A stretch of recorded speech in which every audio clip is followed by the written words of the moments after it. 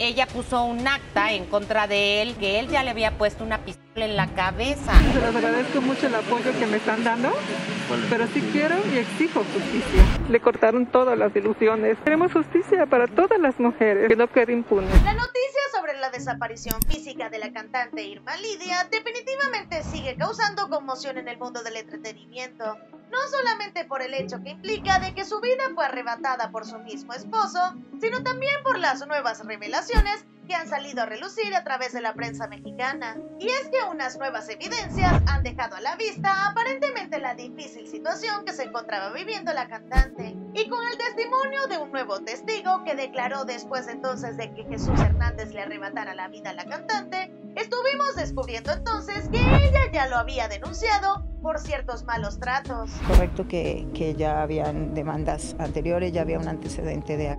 Pero también estuvo trascendiendo una nueva información que justamente relata que la famosa cantante estuvo dejando ciertas escrituras en un mantel del restaurante donde perdió la vida. ¿Cómo puede ser posible que le quiten la vida de esa manera a una niña, a un ser, a un ser humano? De hecho, varios medios mexicanos han señalado que estos mensajes podrían dar ciertas pistas sobre este caso y justamente ver las razones por las cuales la discusión se generó entre ella y su esposo. Te digo, a mí no me corresponde mucho hablar de las cosas de familia, a mí no me gusta meterme. Palabras como deshonesto, diabetes, inconvenientes, son algunas de las que figuran en ese mantel y aparentemente habrían sido escritas por la propia Irma Lidia. También estuvo llamando la atención una serie de círculos y dibujos que allí aparecen plasmados. Una situación que vivimos en México en especial. ¿Qué le dices a una mamá que le arrebataron su hija? Además, según la información divulgada por Foro TV, se dice que la Fiscalía de la Ciudad de México ya tiene en su poder este mantel para revisar si efectivamente lo que allí se encuentra escrito fue escrito precisamente por la cantante Irma Lidia.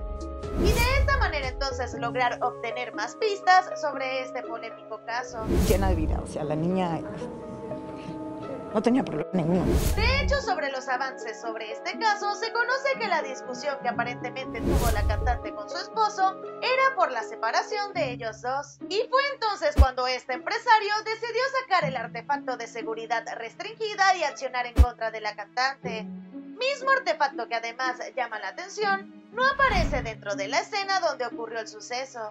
También algunos medios mexicanos han asegurado que el esposo de la cantante no solamente está siendo señalado por haberle arrebatado la vida a ella, sino también por intentar manejar de forma económica a los agentes de seguridad que lo estuvieron privando de libertad por él intentar esconder el artefacto con el cual le quitó la vida a su mujer.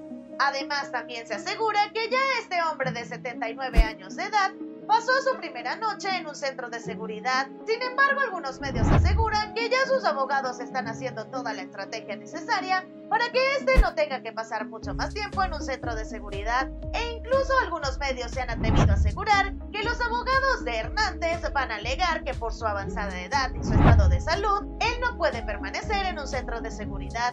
Sin embargo, al igual que toda su familia, los fanáticos de la cantante exigen que se haga justicia y que los agentes de seguridad se encarguen de investigar todo este hecho hasta que se aclare la situación. Quiero saber qué opinan ustedes al respecto, así que vayan dejando sus comentarios y recuerden que también nos pueden ubicar en nuestra página de Facebook como Famous Close Up.